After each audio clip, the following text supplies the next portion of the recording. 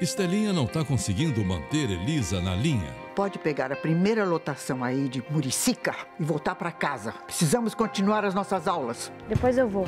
Hoje, Eu preciso fazer alguma coisa. totalmente demais.